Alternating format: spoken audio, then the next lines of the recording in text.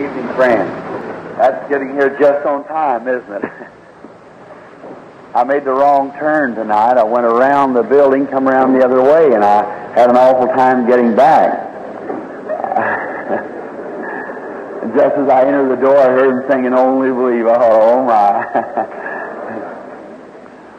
so we had a little contest tonight. Last night I had to wait so long, and I said, "Now, Brother Moore, if I have to wait out there a half hour again tonight, you're going to preach Monday night, Tuesday night, Wednesday night, and next week. I said, I'm going to be there just exactly on time. That's the reason he was on time. yes, sir. We're going to make you preach three days longer for that. now, I was here on time. Oh, he just got up, hadn't he? I was, the man had to put this hook around my neck here, whatever it was, so I could talk from here. I guess I get to running a little bit and get away from the microphone. Everybody feeling good? Oh, that's fine. That's just fine. Well, we hope we can, the Lord will just bless us and we get our hands right in the honey jar now and go to leading on God's honey, His Word. One of the cutest little sights I ever seen, I don't know whether I ever told you, I, I like to fish, and there was a, I was way up in northern New Hampshire, the home of the brook trout, I'd packed back with a pack on my back for about three days back in the wilderness. And I was fishing high in the mountains where the tenderfoot didn't get to it, you know, way back. And I was had my little tent sitting there one morning, and I I got up early and went out along the bushes, had a little hand axe cutting some bushes so I could get the fly working right, catching these brook trout. And um, so I got up done about eight o'clock and come back, sun had come up good, and when I got back to my camp, it was just laying flat on the ground. There's an old mother bear and two little cubs got in there, and they really tore that thing up. I mean, it was thrown from one way to the other. Well, I had an old beat up, rusty gun laying there somewhere, but the bear, it isn't what he eats, it's what he destroys. He just knock a stovepipe down and then jump on it, just to hear it rattle, you know, and he's just a very bad fella. And um, when I come up, the old mother bear, she scented me right away, and away she went. She cooed to these cubs. One little cub run off with her. And she went on, uh, but the other little fellow just sat there. He had his back turned to me. Well, I wondered, what's the matter that little fellow? He doesn't go. And she kept out there in the wilderness. Up on the side of the hill, she was cooing. I wondered, she'd making that cub come. And he wouldn't come. You know, he just sat there with his head down like that. And I thought, well, wonder what's the matter with the little fella.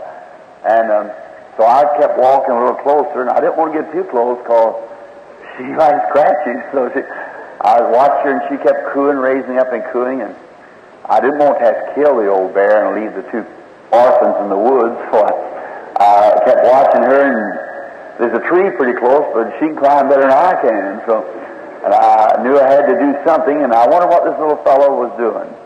And when I got around to the side, so I could look at him sideways, uh, how many like pancakes molasses? Oh, I tell you, that's. I'm not very good at making them, but I sure love them. So I had me a bucket of honey. You know, that kind of keeps the Baptist straighten out, honey. You know, cause, so I had a bucket of honey there, and I, I usually take a big bucket because I don't believe in sprinkling. I really baptize them. I pour it on good and heavy. So I pour that honey on those pancakes, you know, and this little fella got in there, and they love sweet stuff anyhow, and he got the lid off that bucket. He was sitting there, and he had it pulled up on him like this, you know, he'd stock his little paw down and get this honey and lick it like that. He was he was honey from the top of his head to the soles of his feet just, and he tried to look at me and his little eyes stuck together, you know, and he's trying to get his eyes on looking at me like that. Um, nah. He looked out at me just as unconcerned, said, Well, you want a bite? Uh, so stuck his paw back down, kept stopping again. I thought, well, if that isn't just like having an old fashioned Pentecostal jubilee, I never seen one. That's right. Honey all over, all over the top of your head, all over you, everywhere, just covered with honey. That's right. Hands in a honey jar. That's true. The strange thing about it, when he finally let the bucket down after it stopped cleaning, well, the little fellow went over there to the mother and him, and they licked him. and get the honey off of it. I just hope we get so much honey that everybody wants to lick, don't you? I tried to enjoy some of our blessings of the Lord. Now, we love an old-fashioned, joyful meeting, don't you? Where we, but you've got to get straightened out right before you can enjoy it. You know, you got to get on the right road.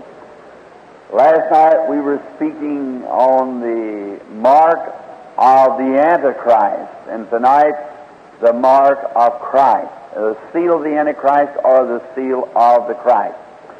And now trusting everybody's feeling good and remember the services tomorrow morning. Go to some church. If you're a visitor here, there's several revivals going on around the different parts of the country. So we hope that you find your place to the some good full gospel church, some good spiritual church at and go to church in the morning. And then tomorrow afternoon we have our services when all there's no other services going on. I think that's nice as a Christian businessman. Don't you ministers and ladies appreciate that in them? To not interfere with your regular church service.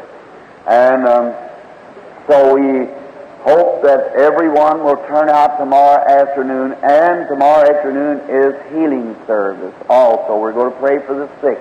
The Lord willing, tomorrow afternoon prayer cards will be given out about 1.30, I suppose, 1 or 1.30. So it'll be out of the way of all the rest of the exercises of the afternoon.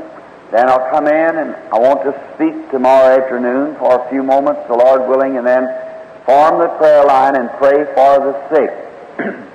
now, before we open this marvelous Word of the living God, I believe that every religion, every true religion, is founded on this.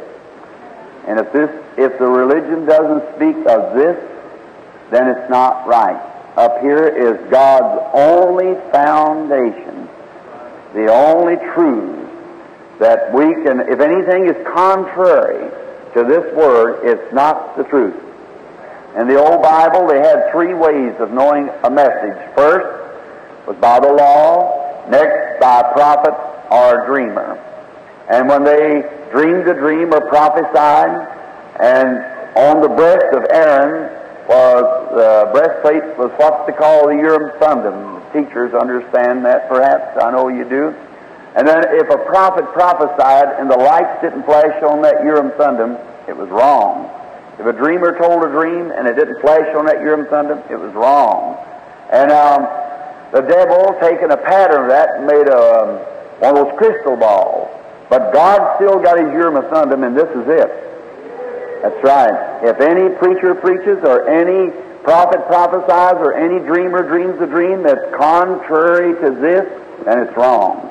That's right. It must come from the Word. I'm a great believer in the Word. That's what keeps us straightened out. Come back to the Word of God.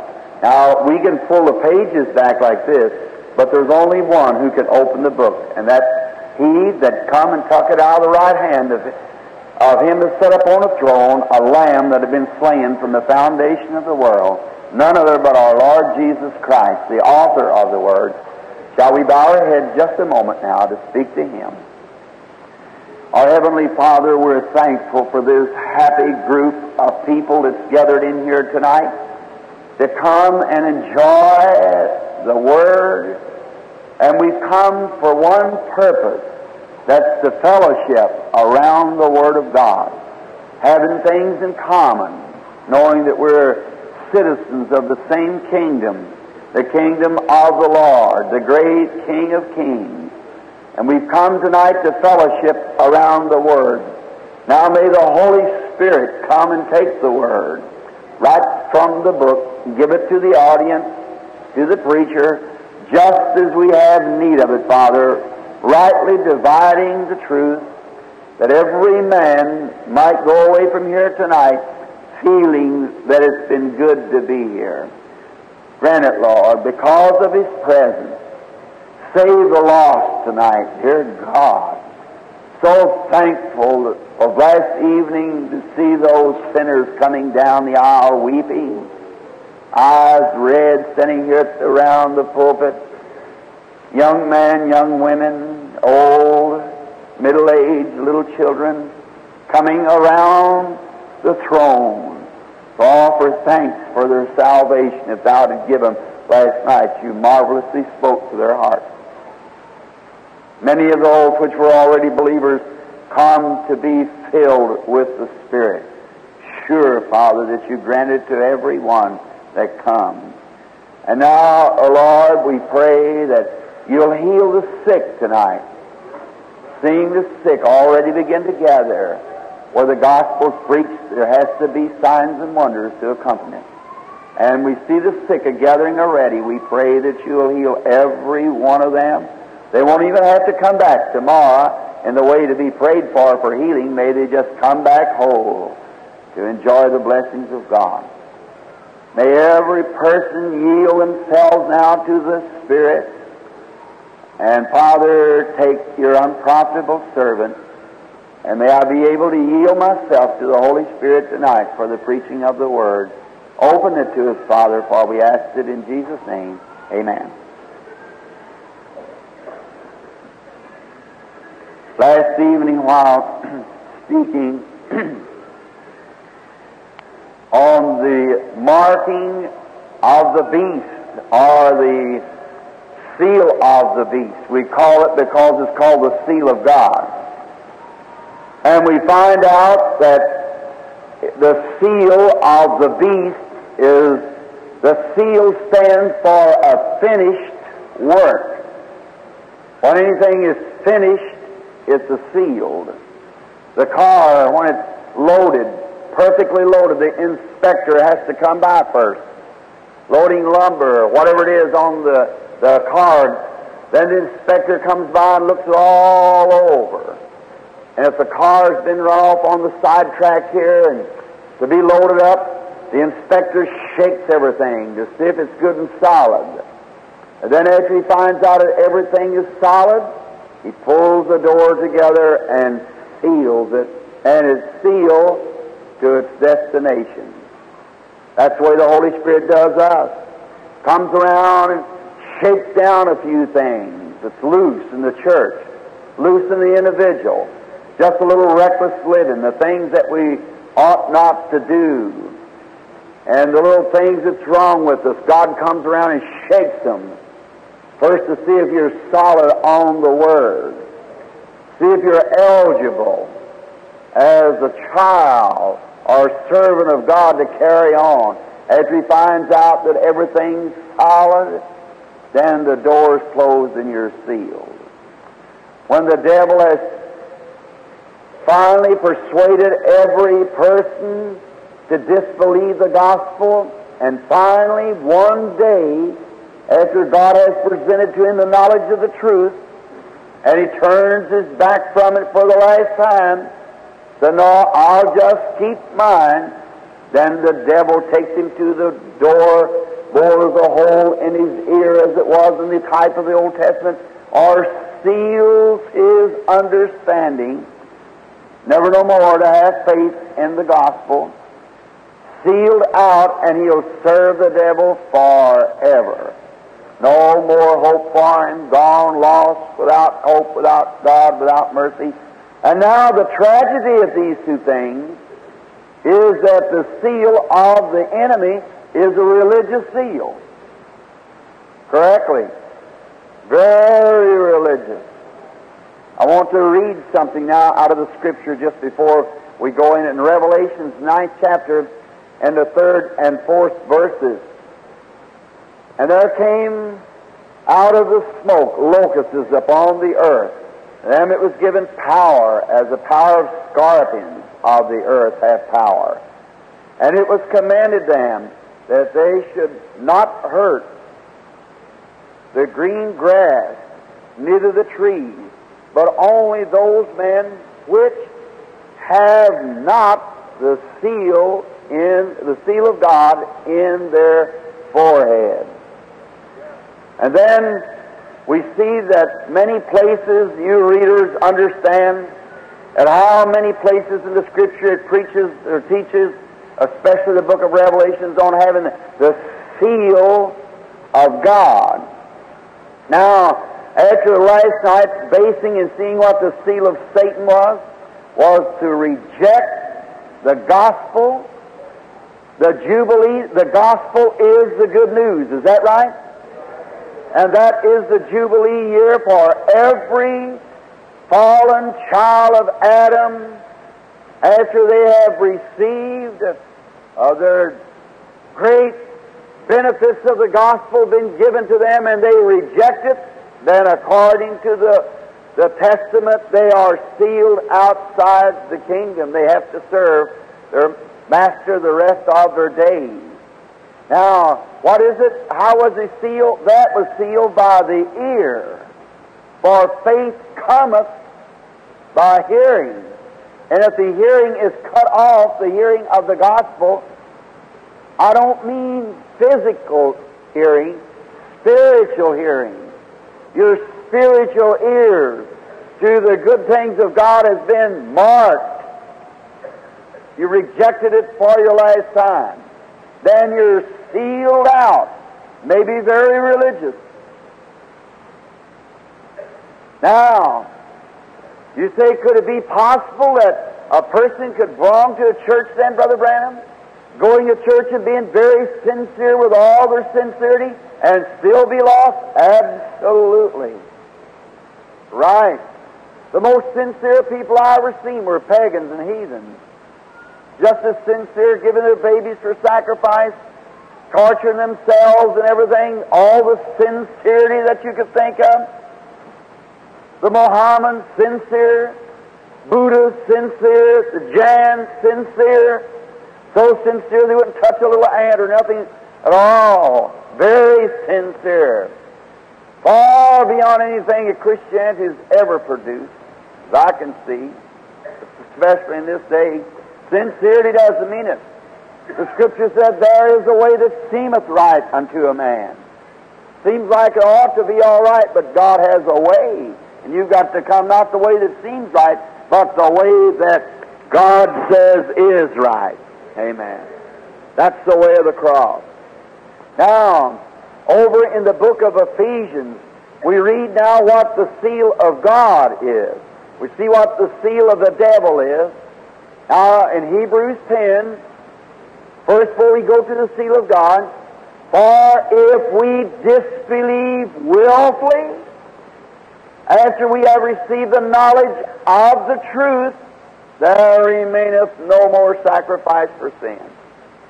If the truth has been presented, Jesus Christ came to the earth to present truth. And not only present truth, He was the truth. And the religious people of that day said, now we know that he has mental telepathy. We realize that he's reading their minds out there. But we believe that all of his healings, the things that he does, it's only by the devil because he don't agree with our denomination. So they said, he's the devil. Jesus said, now you can say that against the Son of Man, for you've got the truth presented to you. You really know it's the truth. In other words, Nicodemus expressed and said, We know, Rabbi, thou art, we who? The Pharisees. We know that thou art a teacher comes from God. We know it, for no man could do the things like you do, lest God was with him. And we know that you're a teacher come from God. Now, I had to slip up here for the night time to get in to talk to you, in other words. A, a tradition separating man by their traditions. Oh my. I look at that and I see then that great Christ standing there. He said, Now you can say that against the Son of Man because the atonement had not yet been made.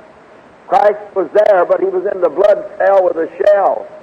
But when that blood cell was broken by the Roman spear because of sin at Calvary, and the Holy Spirit was leased then to every believer that would come through the shed blood.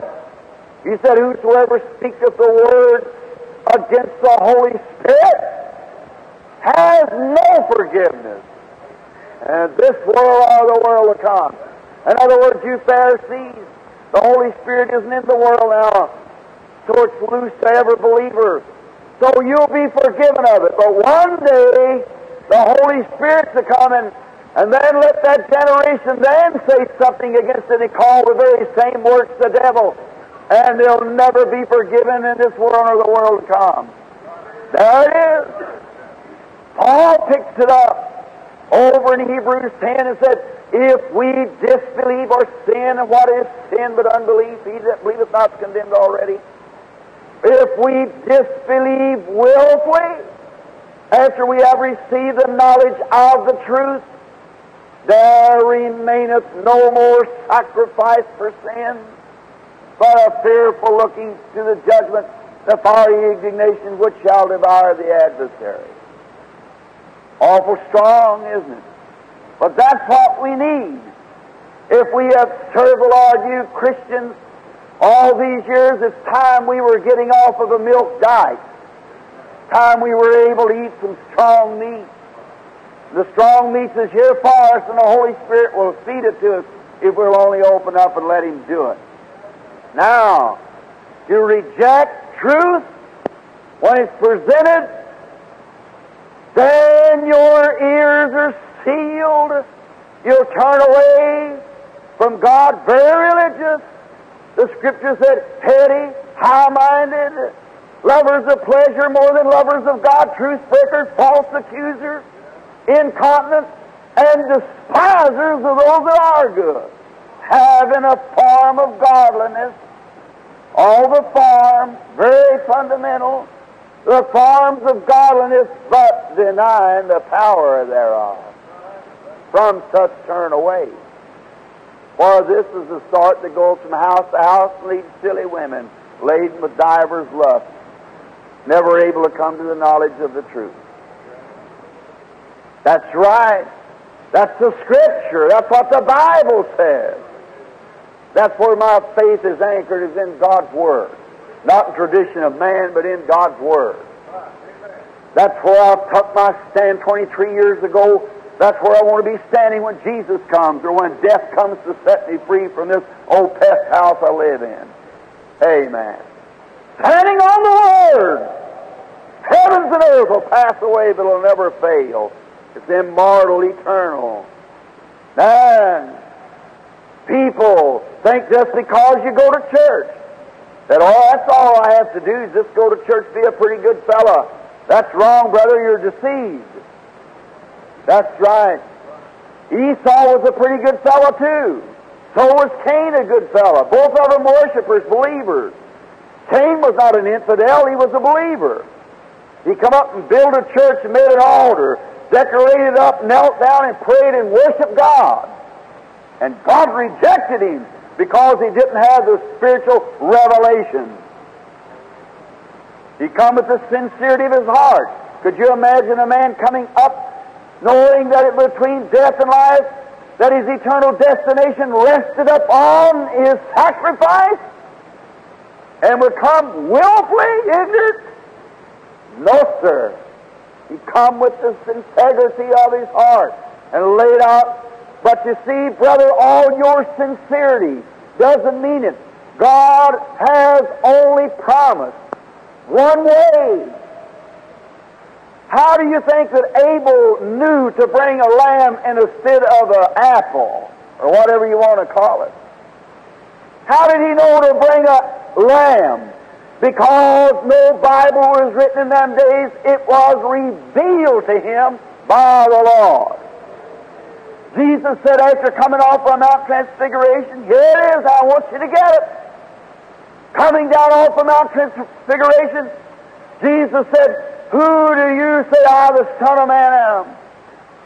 One said, Why, some say you're Moses, and some say you're Elias, and some say you're the prophet.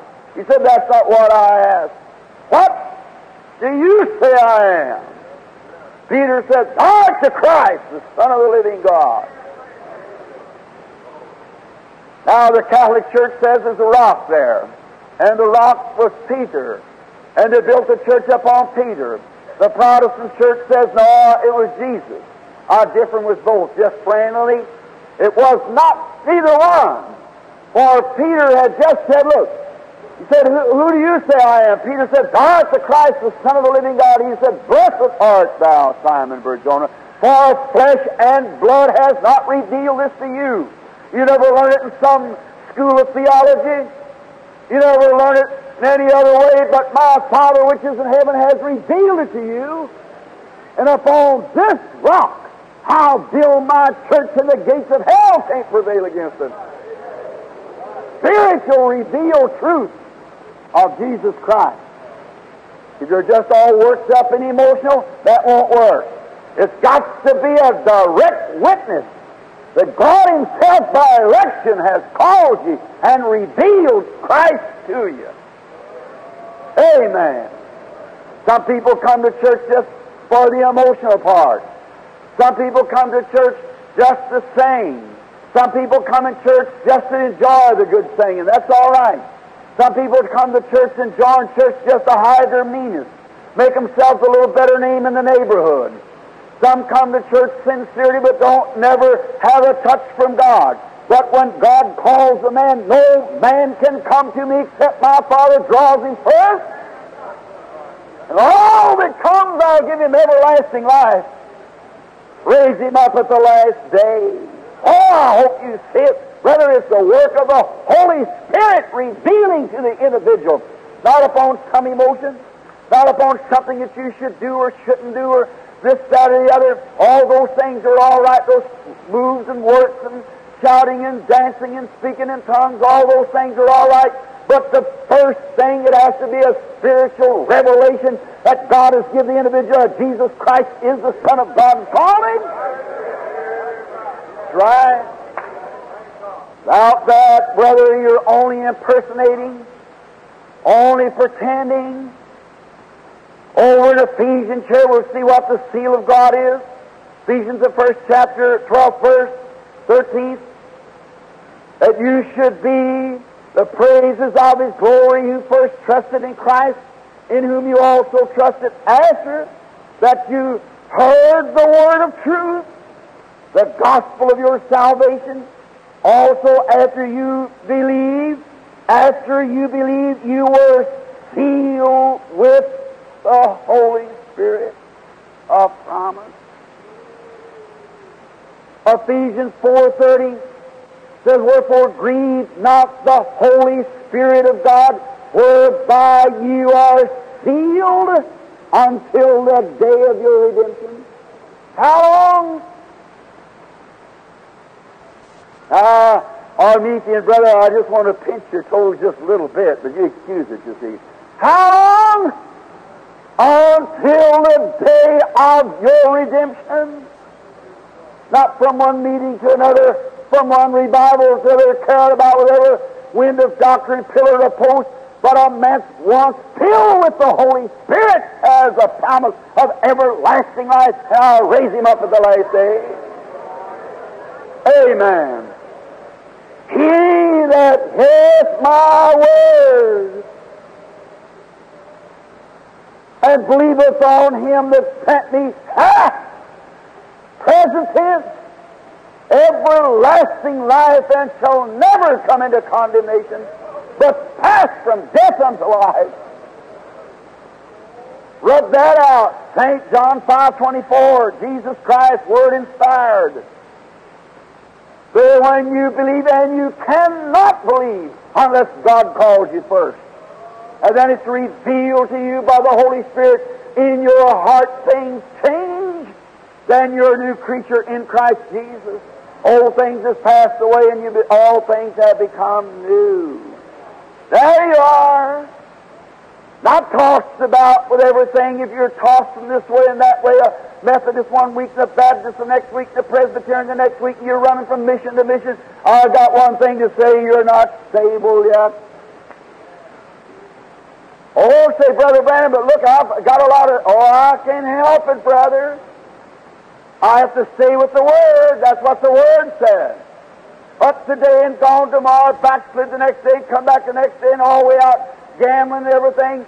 For if you love the world, are the things of the world, the love of God's not even in you.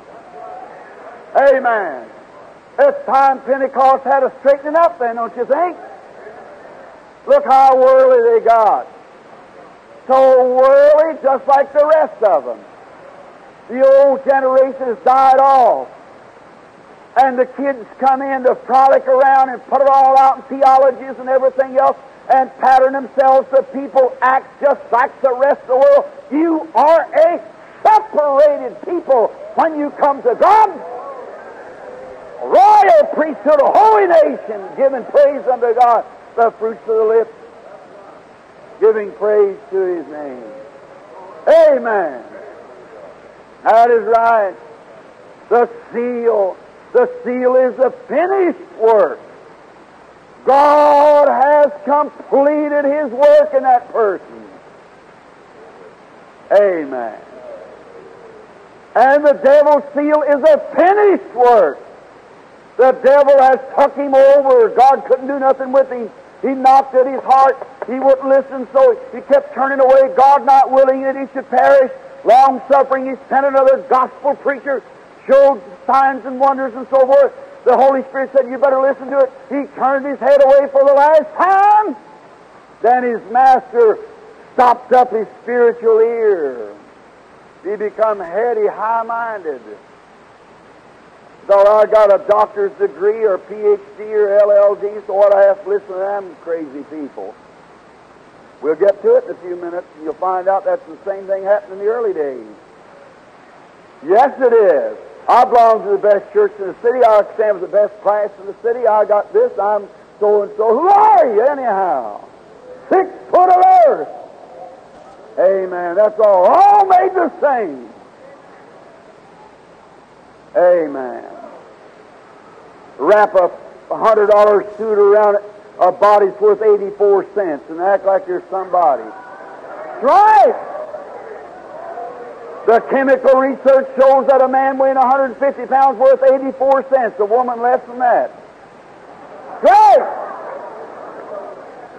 Uh, that's not joke, that's the truth. And you'll put a hundred dollar suit on it or a great big fur coat and walk down the street with your nose stuck up because you belong to so and so church.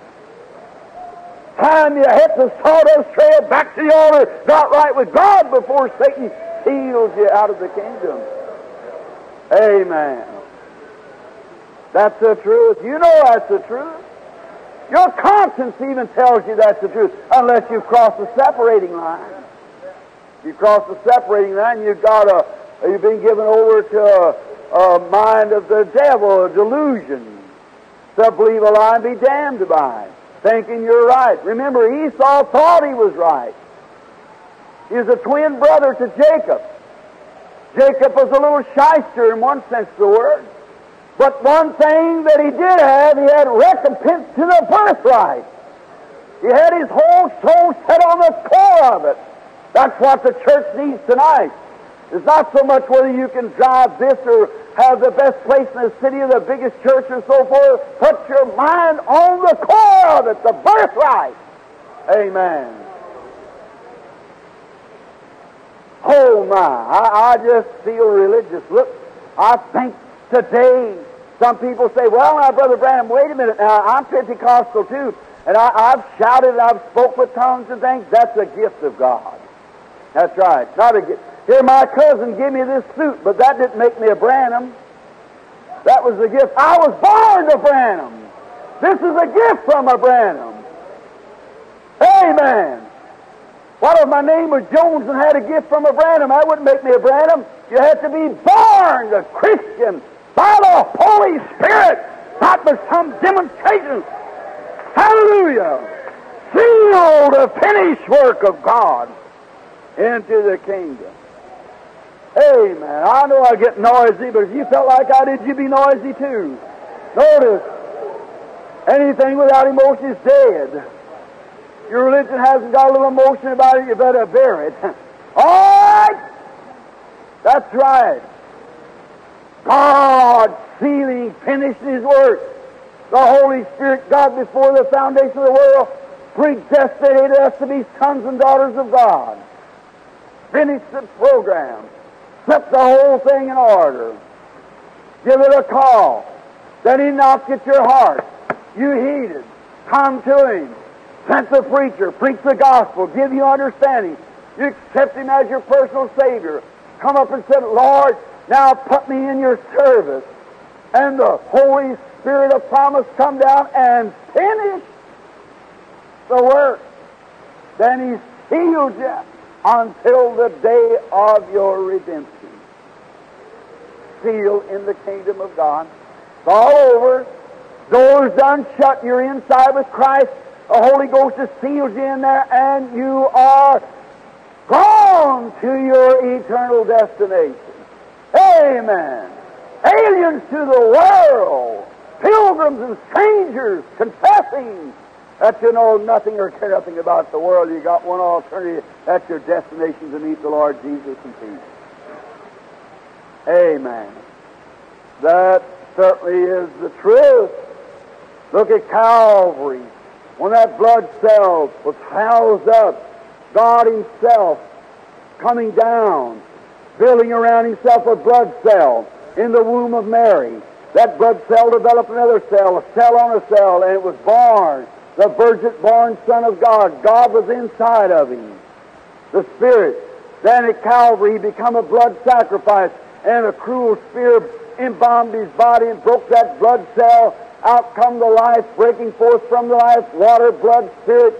And now that man coming to Jesus Christ today and coming to the blood comes into the blood cell in fellowship by the Holy Spirit, becomes a part of God, has God's life, then he becomes the son and daughter of God. It's just as impossible for that man to be lost as it is for God himself to be lost. For I will give them everlasting life. Everlasting comes from the Greek word zoe, God's own life. God's life is in the individual, and you're sealed by it until the day of redemption. That's the seal of God.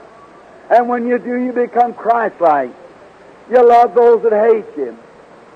Do for one purpose, do the will of the Father. Bring in all the brothers. Put your arms around your enemies and love them. And the great works of the Holy Spirit. Rejoice not in iniquity, but rejoice in truth. And see what I mean? You can give say, Oh, glory to God, we outdone them. Hallelujah. Look over yonder, old buzzards roost. They ain't got nothing today. I tell you, our Sunday school's a bigger one than theirs, and we've done this, that, and the other. Glory to God. Look at all of our class coming up in Cadillacs. Look what they got over old T Model Ford. They might be a lot better off than you are. Rejoice not in iniquity, but rejoice in truth. Amen. Oh, my. Believeth all things, hopeth all things, endureth long suffering, goodness, gentleness, patience. That's the Holy Spirit. The fruit of the Holy Spirit is love, joy, peace, long suffering, goodness, gentleness, patience. That's the fruit of the Spirit. We put it over on something else because you can lay hands on the sick and they get well. You say, well, brother, he's really got it. Because someone can speak in tongues and someone give the interpretation. Brother, he's got it. yes, sir, I know I heard him speak in tongues. I know he's got it. I've seen him heal the sick. He saw a vision. He had a revelation. All preach. You never heard a man preach like it. None of those things are the sign you got it. Paul said, though I speak with tongues like men and angels, though I have the gift of prophecy, I understand all the knowledge and wisdom of the Bible and everything, I am nothing Jesus said, Many will come to me in that day under this same theology and faith and say, Well, now, having uh, I cast out devils in your name, and in your name have I preached, prophesied. I've done many mighty works. He said, Depart from me, you workers of iniquity. I don't even know you. You see it? God is the eternal judge whether you have the Holy Spirit or not. No one can judge you. God alone. But we have a sign that says, By their fruits you shall know them. Not by their church affiliation, but by their fruits you shall know them. Nowhere in the Bible does it say that affiliation with church is a sign. Nowhere in the Bible does it say that shouting is a sign. Nowhere in the Bible does it say that speaking in tongues is a sign. Nowhere in the Bible does it say healing the sick is a sign. The sign of the believer is the fruits of the Spirit. And the fruits of the Spirit is not seeing visions, not healing the sick, not speaking with tongues, not shouting. The fruits of the Spirit is love, joy, peace, long suffering, goodness, meekness, gentleness, patience. Amen. That's the seal of God. Amen. That may sound just a little flat footed, but we're going on down the Old Testament in a few minutes. That's right. Bring it out through the New and find out that isn't just right. That's the truth. Brother, if you get back on the right foot and get started, God will take this nation with a revival. But you got to get back to God. Lay aside every weight, the sin that's easily beset you, and run with patience the race that's set before you. Look into the author and finisher, not to the church, on the coming of the seal of God. In Ezekiel, the ninth chapter, you who's got your papers, mark it down. Ezekiel the prophet was caught away in a vision, way years uh, before about 50 years or 60 years before the coming. I don't mean that, I mean about 500 years before the coming. And then, when he did, he was called away in a vision and he saw things that wasn't right. Man sitting with their backs turned to the altar and so forth. And he took him up into the city to the higher gate. And mark now, he said, and he showed him the city and the iniquity and everything was going on in the city of Jerusalem. Notice now, he designated a city, a place. And he said, in the city of Jerusalem, where this is going on. And then he saw six men coming with slaughtering weapons in their hands.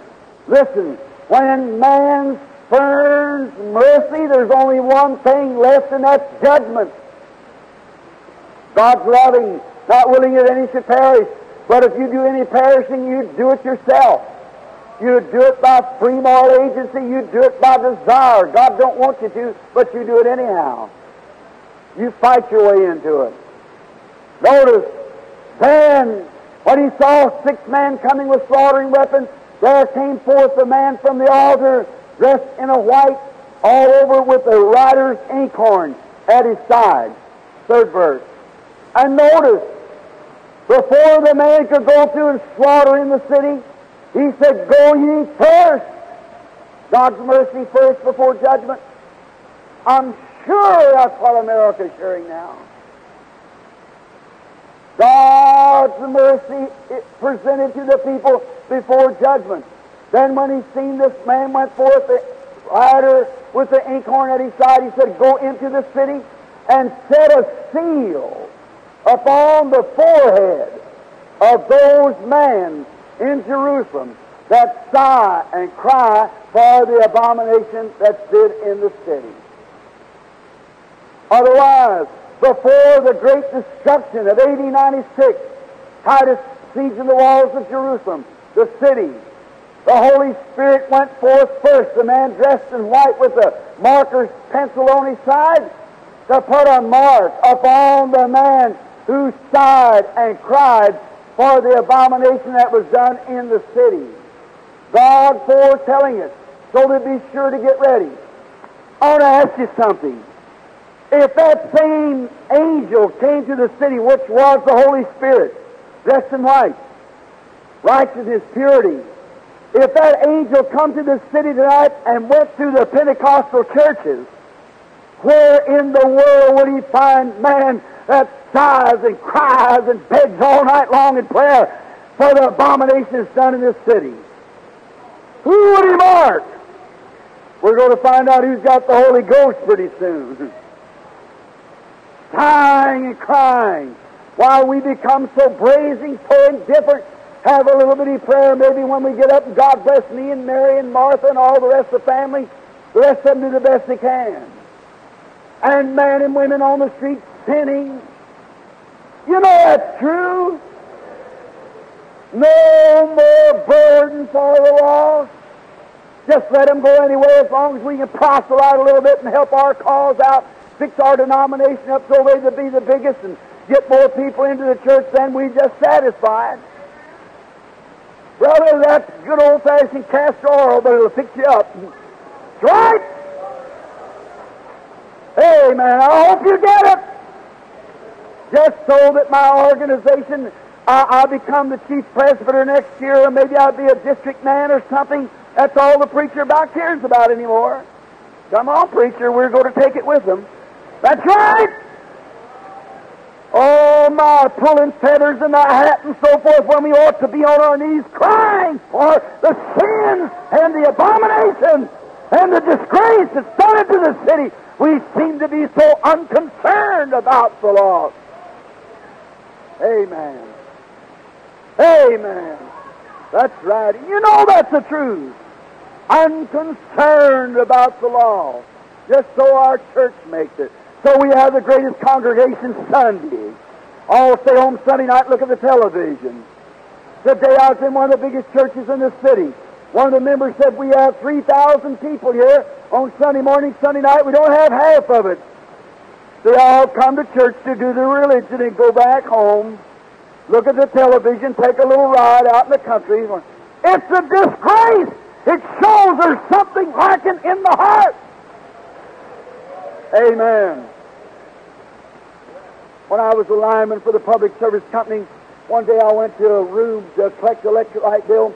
A little old woman come to the door, got enough clothes on to go in an aspirin box, and she was dancing across the floor, and some guy with a little fiddle was going on the radio, and she danced across the floor.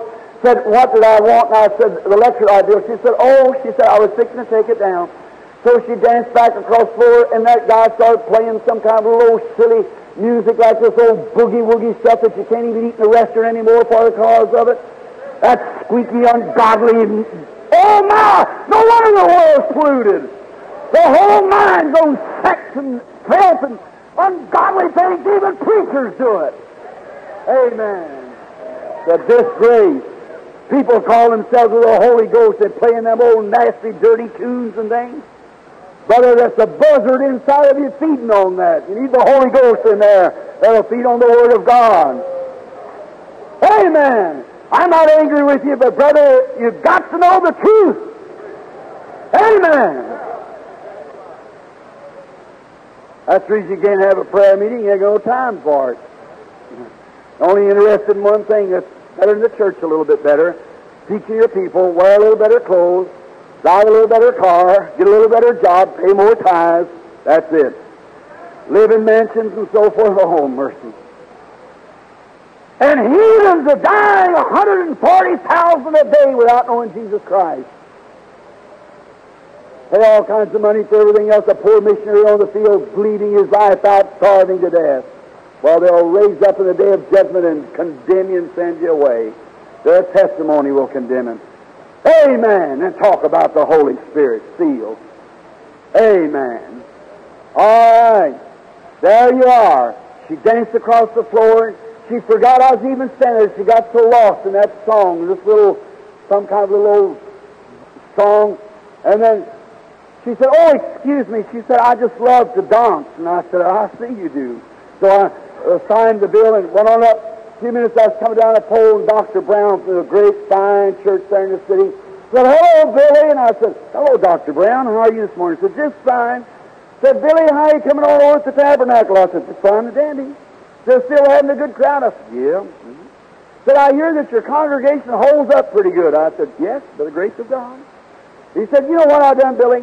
Said, This church here has got 5,000 members. He said, Some of them's in California, some's in everywhere, so that's been for 50 years. Some of them's dead and everything, but they're still members of the church. That's just about as far as it goes. Said, you know what? Said, I sent out a thousand cards and asked people if they would pledge that they would come to Wednesday night prayer meeting at least for six months in the year. That would let them miss every other service. And come for six months in the year. And say, you know how many responded to it? I said, no, I don't. said, five. I said, you know what? I told him the story.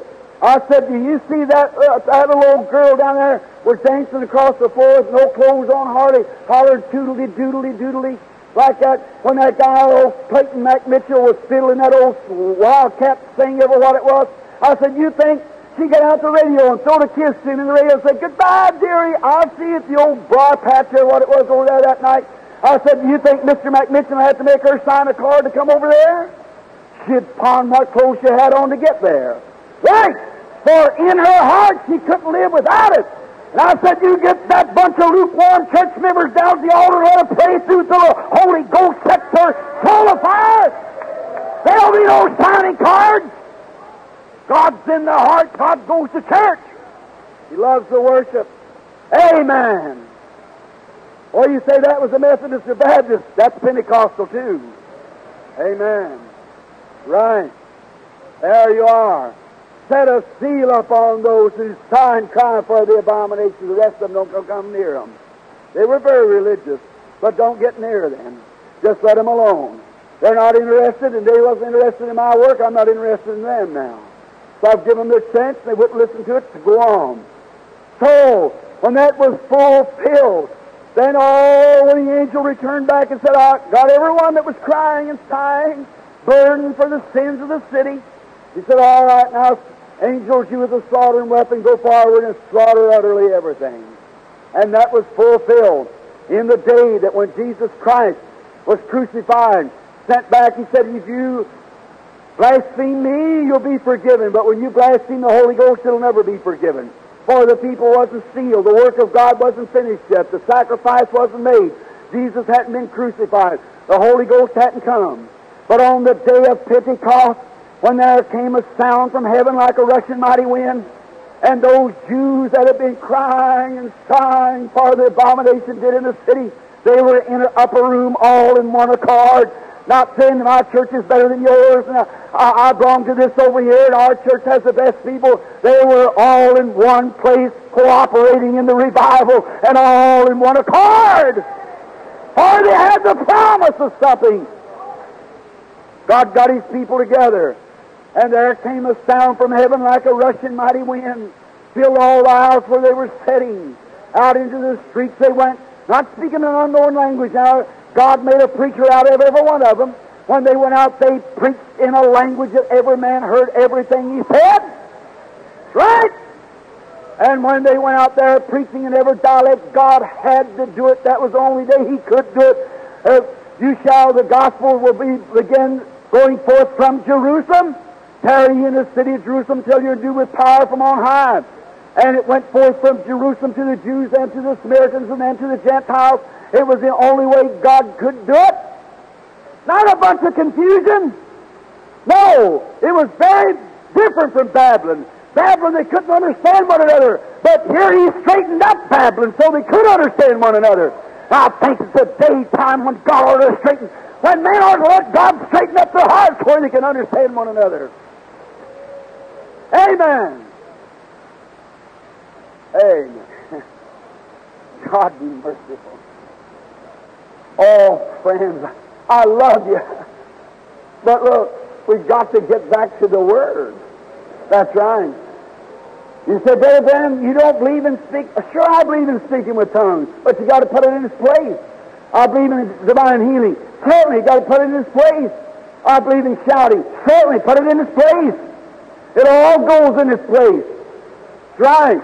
But we get it out of place. Amen. That's awful strong. But just search it through one time see if that isn't right. Notice, when the Holy Spirit comes, God sealed them people into the kingdom of God. And those Jews stood up and laughed at them, made fun of them. Said, These men are drunk on new wine. They come out of their right hearted, all the fear had left them, their hearts on fire, burning with the love of God, going out and preaching even. They couldn't speak their language, and God was speaking through them to the people. Tell them about the resurrection of Jesus Christ. God Himself speaking the they spake in tongues as the Spirit gave them utterance. The Holy Spirit was uttering the language of the people that was listening to them. They're preaching the gospel to them. At the day of Pentecost, where tongues was confused of Babylon, He brought them back into one fellowship at Pentecost. Amen. What the devil did at Babylon scattered brotherhood, God brought brotherhood together at Pentecost. The Holy Spirit Himself speaking through the people to the people. And during this, they marveled and said, Well, what do you know about that? We hear every man in our own language. What do you know about that? And some of them said, Ha, ha, ha. We heard that in Pershing Square today. Still Babylon. Said we, well, they're drunk on new wine. Brother, watch out what you've done there. God gave them a call And they refused it and rejected it. Paul come along preaching, Peter, James, John, all of them preaching the gospel, the baptism of the Holy Spirit, the finished works of God, the seal of the living God. The angel had done marked off every Jew that would receive it and cried. Look at Paul said, I have not for received anything but dare not through tears.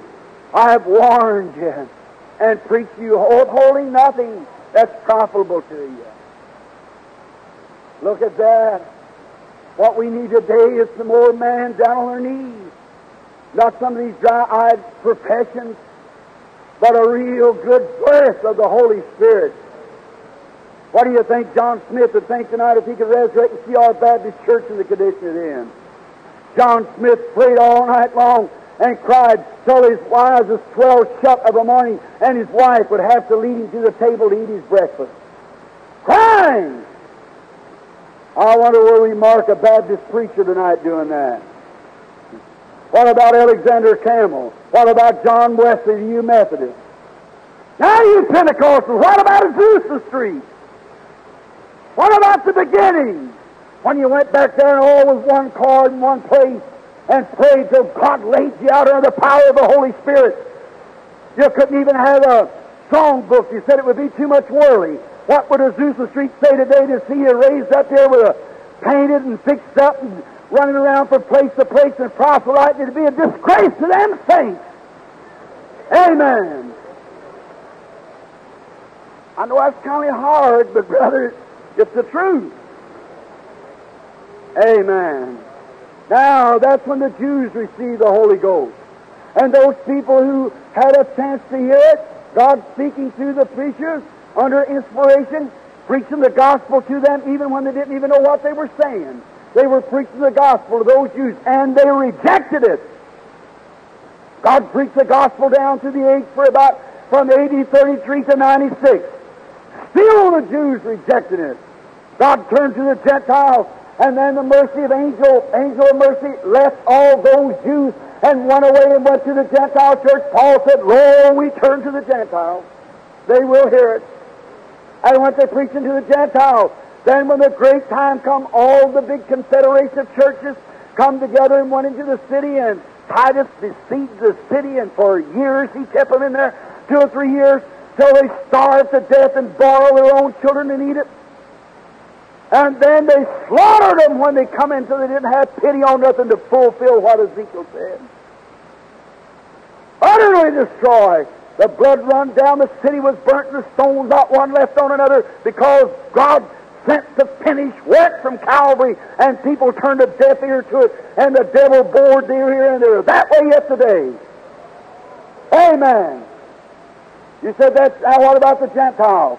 Let's turn over here to Revelations, the seventh chapter, and we'll see where the Gentiles was prophesied. For this day, what? Seventh chapter of Revelation, the prophecy given for the Gentile church. And as after these things saw four angels standing on the four corners of the earth, holding the four winds. And I saw another angel coming from the east, having the seal of the living God, said to the four angels, Hold the winds until we have sealed the servants of our God in their forehead.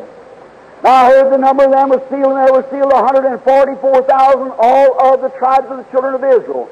Of the tribes of, of the tribes of Dan, 12,000, tribes of Asher, 12,000, tribes of Zebulun, 12,000, and 12 tribes of Israel, and 12 times 12 is 144,000. All of the children of Israel. Notice, you say, Brother Branham, what is that seal? Last night, someone now to you, brother, that said on the radio that the seal would be a tattoo across your head. The seal of God would be a tattoo on your head. What was the seal of God in the first place? The seal of God was the baptism of the Holy Spirit. Not a mark on your head, but a mark on your heart. Amen. Not some certain mark. Apostasy seals itself. Your own works prove what you are. By their fruits you shall know them. If they're Christ denying, Christ rejecting, they are sealed in apostasy by the devil. if they're God-fearing, God-loving, born-again Christians, they're sealed with the Holy Ghost eternal destination. Amen. Brother, I just love this. This is good for me. Amen. Kept me all these years. I love it tonight. Only wish I was twice as big as I was now, so I have twice as much. Amen. Life to me. Oh, look here now. And it said, now the angels were standing on the four corners of the earth, holding the four winds. What does winds mean in the Bible? Any of you Bible interpreters share? Winds means wars and strife, trouble. When was the world altogether going to war? One time since then. One time the whole world was in war, and that was World War One. When all the nations were marching together. And look what he said, upon this World War time, all the angels coming forth, the destroying angels, to destroy the world in a war. You get? The angels of God with destroying weapons coming forth to destroy the world. And what did the Holy Spirit say? Hold the four winds, hold the world war until this global destruction. Hold it until we have sealed the servants of our God in their foreheads. The Gentile never was a servant. The Jew's a servant. And John recognized them every one. 144,000 of the Jews. Look, God's overshooting now, saying, hold these wars here. Don't let total destruction, total annihilation come until we have sealed 144,000 Jews. Then at that time, all, watch what's taking place. All the world was going to war, and all of a sudden, it stopped. And I've read the decline of the World War One. No man knows today why it stopped. No man gave any orders for it to stop. But it was stopped on November the 11th. Is that right? The 11th month in the year. The 11th hour in the day. The 11th minute after 11. What was it? That the 11th hour people could come in. He said some coming in at one hour received a penny and on down, and the 11th hour people got the same kind of a penny that they got at the beginning. 11th hour people. And along about that time, I want you to notice, John recognized every Jew. He knew their military ranks. He knew their names by tribe. John being a Jew himself, he said, all these are the children of Israel. After this, tonight first, I looked, and behold a great multitude which no man could number. No time when they were marked. The Israel, the Jew, is ready to be sealed right now. They're sitting in Jerusalem right yonder, waiting for somebody to come and prove to them that Jesus is the Christ. Right? You can't teach them some kind of dry theology. The Jews seek signs, and they've got to find a sign working ministry, or they won't believe it. The Stockholm Church sent a million Bibles to them. They turned over and began to read and said, If this Jesus of Nazareth be the Messiah, let us see him do the sign of the prophet, and we'll believe him. Waiting for the hour. And brother, when the Jews receive the gospel, the Gentile day's done. God will return back to the Jews certain as I'm standing here. Now, this, if you will, for a minute. Notice when these people come up, and after this, no certain time, after this, I behold a great multitude which no man can number of all the nations, kindreds, tongues, stood before the Lamb, clothed with white robes on, palms in their hands, and crying with a loud voice, Salvation to our God that set up over on the throne and to the Lamb. And all the angels stood around about, the twenty-four elders, and fell down to worship God, saying, Blessings, wisdom, glory, might, power be unto our God forever and ever. Amen. If that ain't an old-fashioned Holy Ghost meeting, I never seen one in my life. Right? Who are this great multitude? Between the time of the Jews being sealed foreseen, John see but between this time, no time set where they were sealed, the Holy Ghost began to fall 50 years ago here in Azusa Street and scattered all over the world with the old-fashioned apostolic blessings of God upon them. And that's where those white-robed saints come from, out of that great revival that swept the land not long ago. And now we've got lukewarm and loud, and God's going to turn to the Jews as certain as I'm standing this platform. The people has rejected the Holy Ghost. They're laughing, making fun of it, and the people going along pretending to have it. And the church has got patterned after the worldly church. They go out, they used to, they dress different. Nowadays, I tell you, you can't hardly get people to come to the altar. Used to be people come to church, well, I ain't got, here not long ago, a little old girl was going to sing in a choir for me. And she said she wouldn't come because she couldn't get a, uh, one of them kinky manicures for her hair. And she had to sing in the choir. And when I heard that, I said, you couldn't sing if you wanted to now. That's right. Brother, I'm an old-fashioned preacher that believes this, that a man's got to be proved before he walks behind my pulpit. You take some of these guys out here in the roadhouse playing the guitar tonight and tomorrow night come to the altar and the next night preach the gospel. It's a disgrace to the Holy Spirit. Amen. John said, bring forth fruit meet for repentance. We need some more Baptist preachers like John. That'll lay the hewing line to the gospel, let the ship fall wherever it may be. Amen. We've got Hollywood out in the church and it needs to be shook out of there by the baptism of the Holy Ghost. You know that's the truth. The Holy Ghost church dressing, acting, why it's got to a place that's horrible. Call preachers to the platform, they, they'll go down to the altar to pray, and they can't do it. They got their clothes all tailor-made and creased up in their suits, paying $150 for a suit of clothes they can't even bend. Amen! You know it's the truth. And women out there with your painted up fingernails, a five, fifty dollar coat wrapped around you and a hundred dollar dress on, you can't kneel down, you won't even have children. Practice birth control and pack some little snotty nosed dog around, call it something, give us the love of a baby, then call yourself the Holy Ghost Church. You need to be ashamed of yourself and repent. Amen. That's the truth. What we need tonight is this bunch of impersonating the Holy Ghost this bunch of people impersonating the Pentecostal church or to hit the sawdust trail down here and mourn under there till God comes down and gives you the Holy Ghost. Hallelujah! Amen! That's what we need tonight. God bless you, Pentecostal impersonators. The altar's open, the sawdust trail is ready. Amen. If you want a revival, start it in your own soul. Amen the shame impersonating, acting like the rest of the churches. Went out after the Babylon, the lower associate half cousin you run around with. Amen. God bless you, friends. You know that's the truth. They told me I preached two hours, I done done it again tonight. Let me tell you something, brother. That's the truth. You're either marked in or marked out. And if you've got a bit of spirit about you tonight, that you know that you're wrong, Here's the old sawdust trail in a mourner's bench down here for you to stay here and moan and groan over the labor pains until God comes down and fills you with the Holy Ghost. Amen.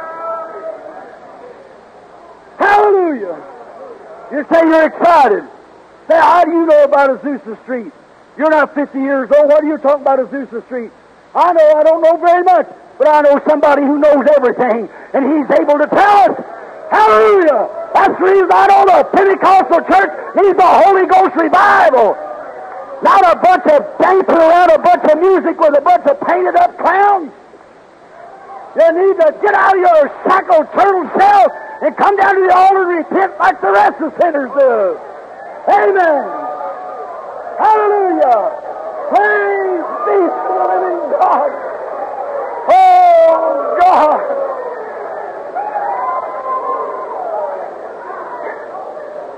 I know you think I'm beside myself, but I'm not. How many of you would like to have an experience like that? Raise your hand. Everybody in your life to have an experience. This altar's open. You're invited to come here and kneel with me. And preachers, get yourself ready and get the starch out of you. Get over here, and let's kneel around. God bless you. Let's have a revival. Enough's been said. Come on. Whosoever will, let him come and drink from the fountains of the water of the Lord freely. Hallelujah. Preachers, get up here and kneel around this altar like preachers ought to do. Amen. Come on, seekers. I invite you in the name of Jesus Christ and challenge your faith. If you want to see a real revival, come start it in your own soul. Amen amen. Come. Oh, yes, sin oppressed, there's mercy with the Lord. And surely He will give you grace by trusting in His Word. That's the way. Forget about that old dress and that old pair of breeches. You ought to have a calico dress on tonight, and the preacher ought to have overalls. That's right. Amen. Make your way. Hit the trail. Amen. Oh, hallelujah. Praise God forever. Die to